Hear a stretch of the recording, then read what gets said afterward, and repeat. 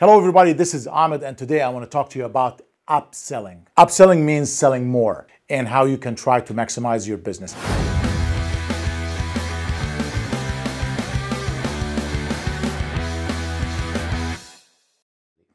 Today I want to talk to you about a couple of points that I used. Don't sound desperate. Your customers know that you're desperate and you want to make a sale.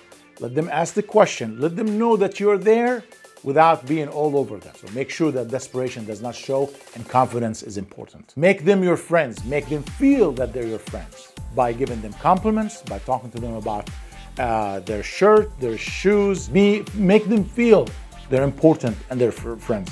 Sell on value. If they're buying something, make sure that they connect and solve their problems. That's how you satisfy them by giving them what they really need, not what I think is good for them update your customers thinking. If someone walking in and thinking some item is the best but there is actually newer technology came out you need to explain to them about these things. Because people don't know don't keep up with all these things. Be honest.